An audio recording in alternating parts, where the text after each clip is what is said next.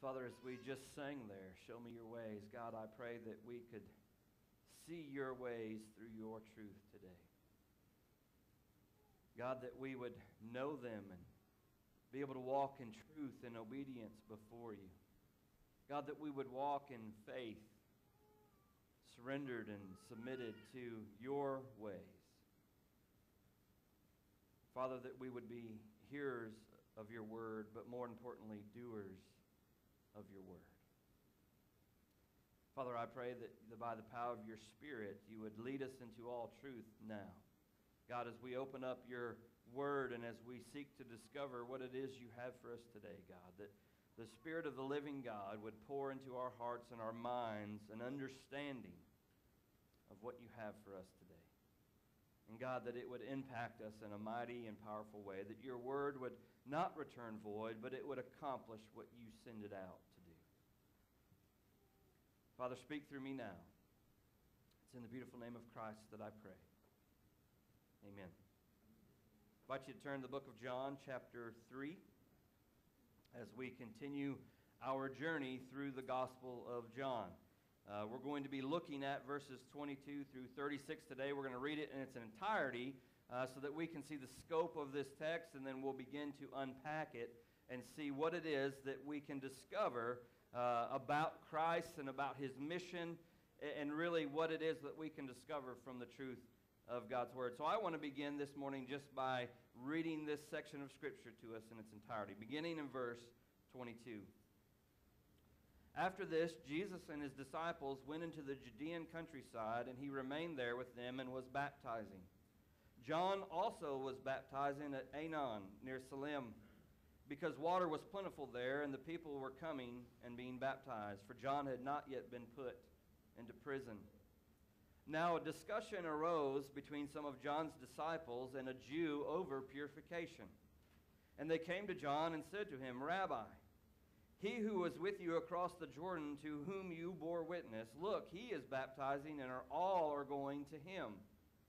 John answered, A person cannot receive even one thing unless it is given to him from heaven.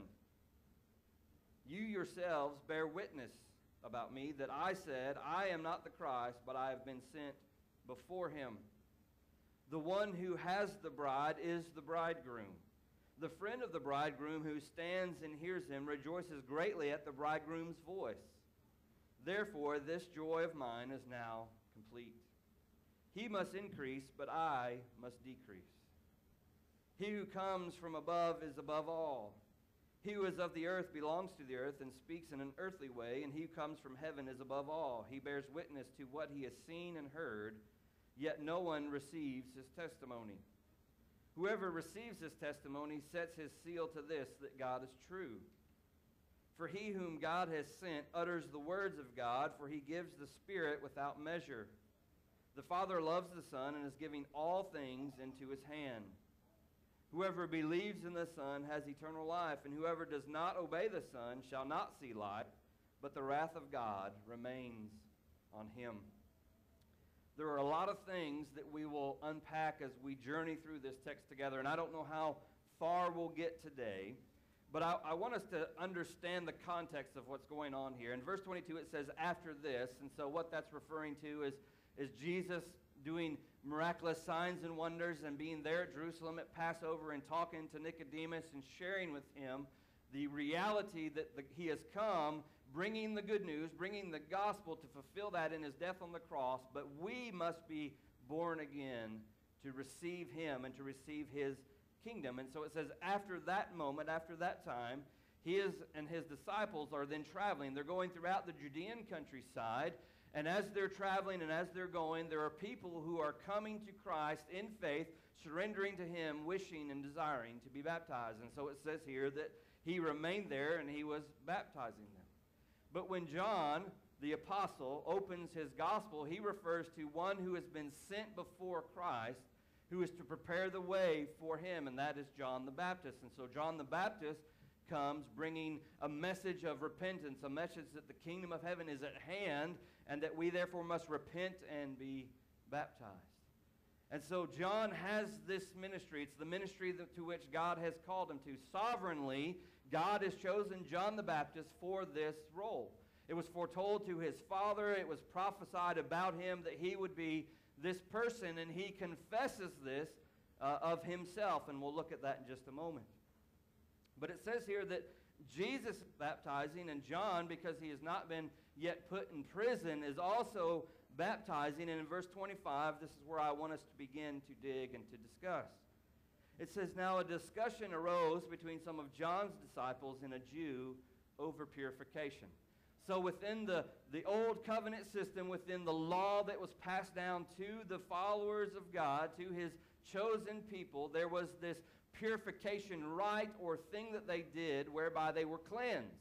And baptism at that time was sort of one of those methods that they do that. And there's this discussion, really, it's a debate or an argument that arises between John's disciples, those who were following John, and a certain Jew. It's never mentioned who this Jew is, but they're sort of arguing over baptism. And look at John's disciples. Look at what they say to him.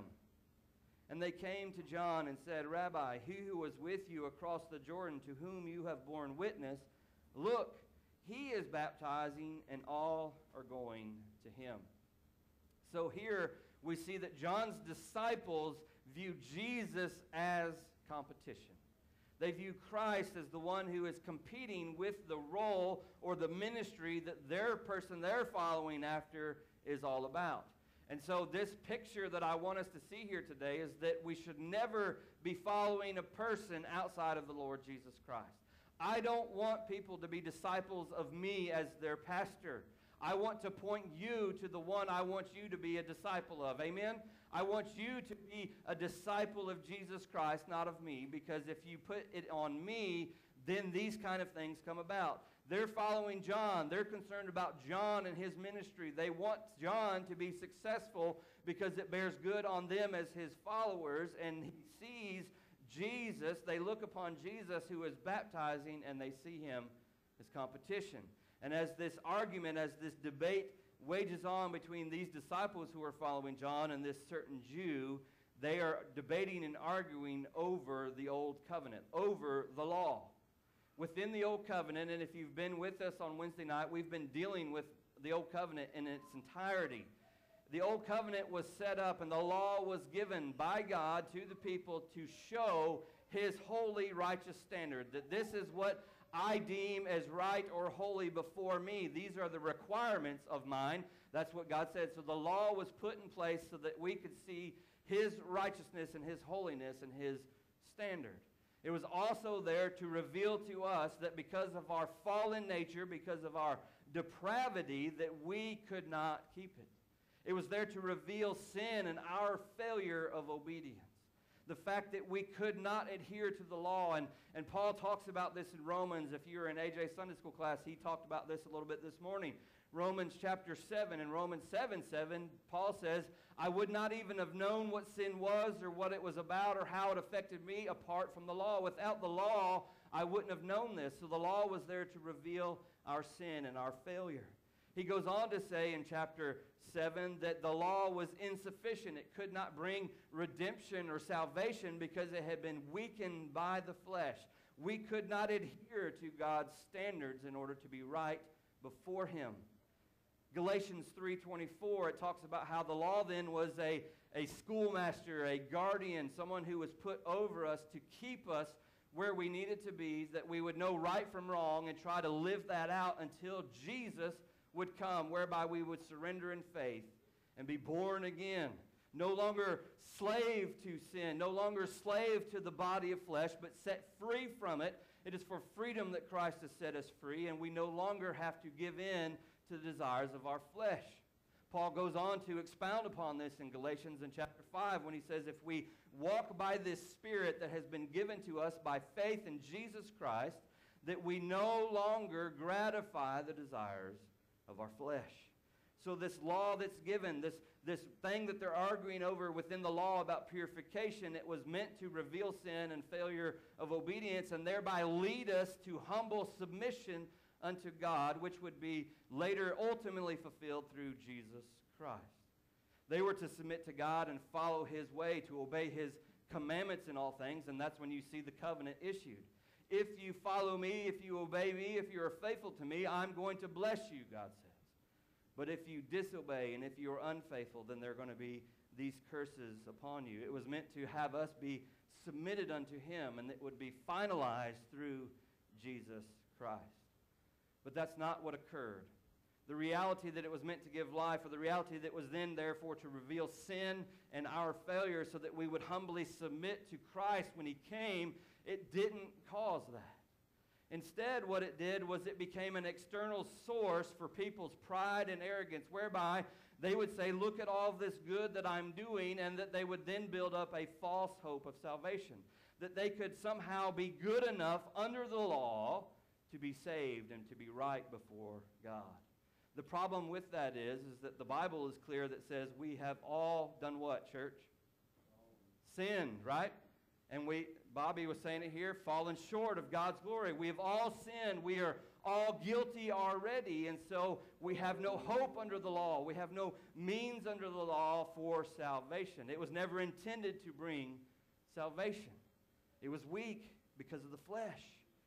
And so these people have taken it on as a thing of legalism, as a ritualism, as tradition for themselves. And they've built themselves up in pride and arrogance. And we call that, and the Bible calls this, self righteousness.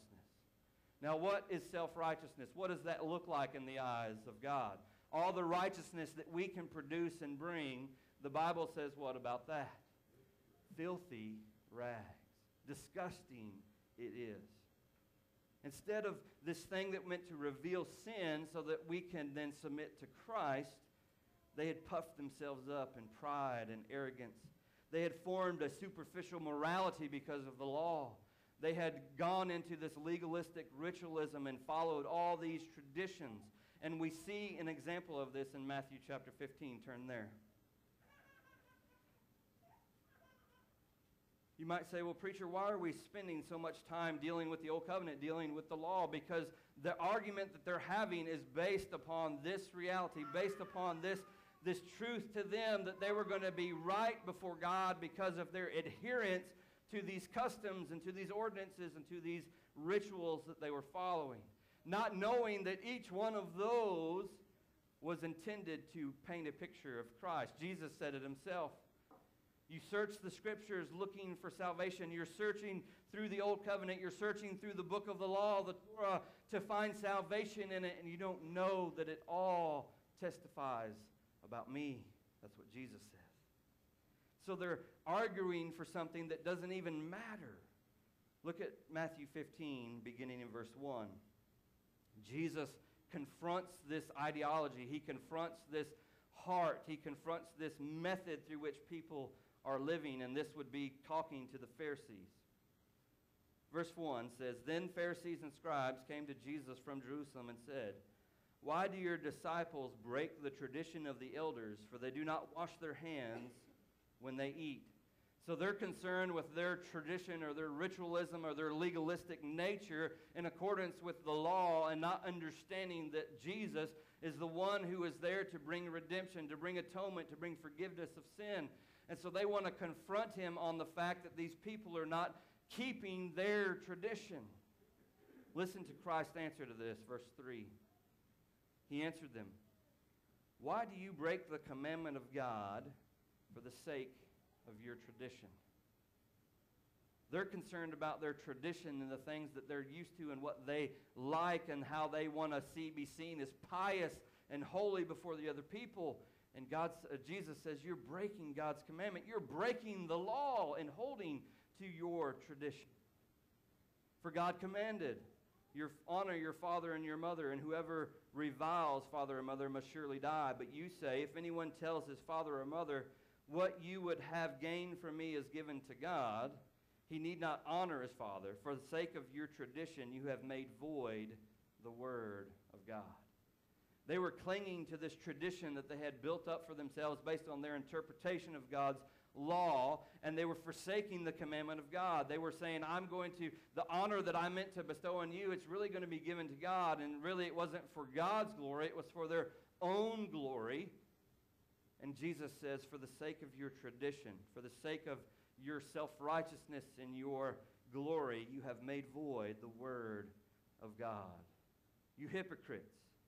Well did Isaiah prophesy of you when he said, These people honor me with their lips, but their hearts are far from me. In vain do they worship me, teaching as doctrines the commandments of men. You see, these people were caught up in these ritualistic purification rites. They weren't looking at the bigger picture. They weren't seeing the reality of Christ coming and baptizing, and really, they weren't even understanding John's role within this framework.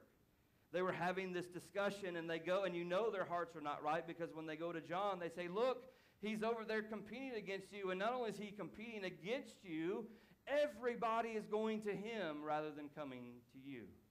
Do you see where they're standing, where their hearts lie here? Looking at him. He is baptizing. All of them are going to him. He is your competition, John. What are you going to do about it? But I love the heart of John the Baptist. I love his response and really his understanding of God's sovereignty and his life and his plan for his life. And he even makes profession of this about himself. Look at how he answers. John answered, A person cannot receive even one thing unless it is given to him from heaven. Unless God ordains it, unless God purposes it, unless it's God's will, there's not going to be anything that I'm going to do to gain these followers back, and nor does he want to. But he's saying, unless God has purposed it and planned it, it's not going to succeed. Right, church? If God is not the builder, what do the laborers do? What do you say, Bobby? Nothing. The, the scriptures, that's, that's our nomenclature. The scriptures say they labor in vain. They work in vain. If God's not the one that's a part of it and building it, it's for nothing. John recognizes and understands this. Unless God gives it, I cannot take it. Verse 28, he says, You yourselves bear me witness that I said, I am not the Christ, but I have been sent before him. Flip back to chapter 1 real quick. I want us to read the words of John the Baptist as testified about by the Apostle John in writing his gospel. What John the Baptist is saying of himself, he says there that you even bear witness that I've already said, I am not the Christ. So if I'm not the Christ, why should I care that I lose people or don't have the glory or the prestige? Chapter 1, verse 19. And this is the testimony of John when the Jews sent priests and Levites from Jerusalem to ask him, Who are you? He confessed and did not deny, but confessed, I am not the Christ. And they asked him, What then? Are you Elijah? He said, I am not. Are you a prophet? And he answered, No. So they said to him, Who are you? We need to give an answer to those who sent us. What do you say about yourself? And he said, I am the voice of one crying out in the wilderness, Make straight the way of the Lord, as the prophet Isaiah has said. That's found in Isaiah chapter 40. As it's been prophesied about John the Baptist, this one who is going to prepare the way, and he's going to confess this in just a moment in a different way.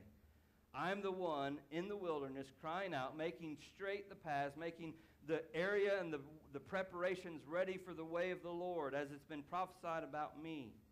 Now they had sent from the Pharisees. They asked him, Then why are you baptizing if you are neither Christ nor Elijah nor a prophet? And John answered them, I baptize with water, but among you stands one you do not know. Even he who comes after me, the strap of whose sandal I am not worthy to untie his confession, his point of view about who he is in light of who Christ is, is that he has simply been sent to prepare the way for the coming Messiah, the coming chosen one, the anointed one. And that when he views him and when he sees him, he says, I'm not even worthy to untie his sandal. And we've dealt with that in the past, right, church? You know of my dislike for feet. Amen? Y- y'all remember this about me, right? That I can't stand feet And yet, for the servant, it was the lowliest of servants who had to take the sandals off before the supper to wash the guests' feet so that they could come into the home. It was the worst of the worst things. And John says, I'm not even worthy to do that lowly of a thing unto the one who's coming after me. I am not the Christ.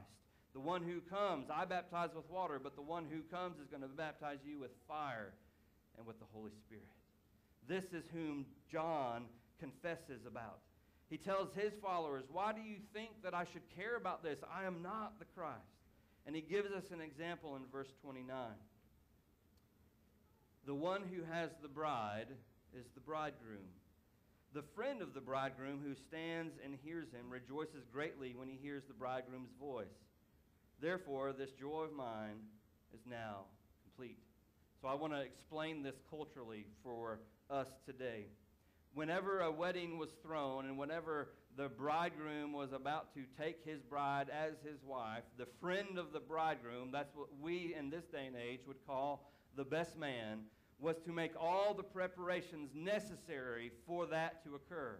So he was the one that would go before the bridegroom to make everything ready, to make sure everything was set so that when the bridegroom came, he could receive his bride to himself and there would be no hiccups, there would be no problems going on. This is how a Jewish wedding would have occurred. The friend of the bridegroom was responsible for all the preparations, making sure that things were ready. Doesn't that sound like what John the Baptist is all about? I've come to make straight the path, to make ready, to cry out in the wilderness, Behold, the kingdom of heaven is at hand. Repent, for he is coming. He was the best man, he was the friend of the bridegroom. And he goes on to say that when this person hears the voice of the bridegroom, in, in a wedding, when they would hear that the bridegroom had come in, there would be great rejoicing and celebration because they knew the marriage was going to take place. And John says, I've heard the voice of the one who's coming, the bridegroom, the one who's going to come and redeem and take his bride to himself. And therefore, my joy is now complete.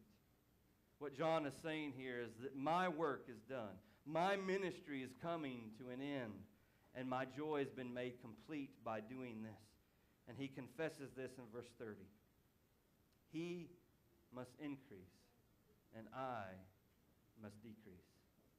You see, John's followers, they wanted John to continue having an extraordinary ministry. They wanted John to continue having acclaim throughout the region because everybody was going to John the Baptist to be baptized. But now they're all going to Christ. And John says, My ministry has been fulfilled, it's complete. The bridegroom has come. The friend of the bridegroom must step out of the way. I must decrease or diminish because Christ must be exalted. Church, that should be the hearts of every one of us in this room today. That we should be made low, that we should be nothing, that we in of ourselves should decrease so that Christ may be exalted. And why would that be so? So that he is glorified. I don't want anyone following me because I don't want the glory. I want to point all of you to Jesus. Be a disciple of Christ so that he might be glorified. John says, I must decrease because he must increase. He is the chosen one. He is the anointed one. He is the Savior of the world. He is the Messiah, and he has come. My work is finished. I've accomplished what I must do. I don't know if John knew that he would then be later arrested and beheaded or not. I just simply know that in his heart he trusted God and he knew God's plan was good and he knew God was sovereign. And he said, God, whatever it is that you have for me, as I decrease, whatever that means, I pray that you are exalted and glorified. Later, John the Baptist would be arrested on trumped up charges, yet he would not stand against them. He would not deny that he had done this thing where he would reject this woman because she was making false, um, what do you call that? Just went blank. Uh, not accusations, that was part of it, but advances toward him. That he, she wanted to have a, a wrong relationship with John the Baptist, and he rejected that because he was going to stand for what God had designed and God had planned. And ultimately, he was beheaded and killed and martyred for his faith and his ministry. I must decrease. Christ must increase for his glory. Verse 31, he says, He who comes from above is above all. He is the one who is sovereign. He is the one who is above all. In him all things were made. Through him all things were made. And for him all things were made. He is above all. He is preeminent and sovereign. He who is of the earth belongs to the earth and speaks in an earthly way. But he who comes from heaven is above all. He bears witness to what he has seen and heard. The message that Christ brought was from the throne room of the Father. The good news, the gospel that was bringing here, he had bore witness about what he had seen and heard. And listen to what it says. No one receives his testimony. As Jesus came to preach the gospel, to preach the kingdom, to preach repentance, and to provide the way and the means for those things, people rejected him and they would not receive his testimony.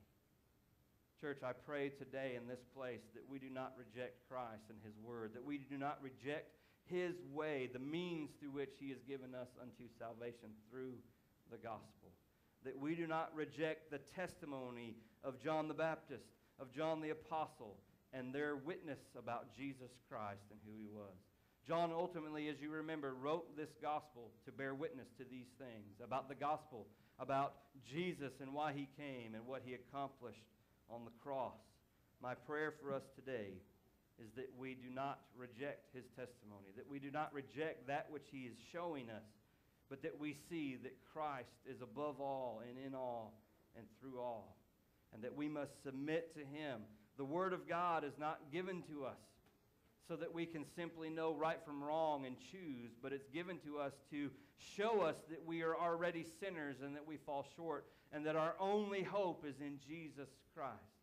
But then, upon submission and surrender to Him, He then empowers us to live for Him, to be obedient to Him, and He also sets us free from this body of flesh that the law could not bring salvation because it was weakened by. But now He has freed us from that, empowered us to live holy and righteous lives. Let us not deny His testimony today. Amen? Let's close in prayer. Father, I thank you for your word of truth. I thank you for the testimony that we have about Christ and the gospel and his way. I thank you for the heart of John the Baptist and his desire to give you glory no matter the cost. Even to his own pride or to his own ministry, he said, I must decrease because Christ must be exalted above me. He is above me. I'm not even worthy to untie his sandal. Lord, that we could have hearts like that, that in humility are so surrendered, so submissive to Christ. Lord, that we would not, by hardness of heart or being stiff necked and stubborn or rebellious, reject the testimony that we have heard about Jesus and about his gospel. That we would not reject the testimony that John the Baptist and John the Apostle have spoken to us but in all humility, as we've been revealed to be sinners by your word, that your law has shown us that we have fallen short, and that Christ is our only hope, our only means, our only way, and that we must fully and completely die to self and submit to Him as Lord and Savior, thus being born again. Jesus said, Unless we are born again, we will not inherit the kingdom of God. Thank you for your word of truth, God. I thank you so much that you've given us these words so that we could know the truth and the truth could set us free. It's in Jesus' name. All the people said, Amen.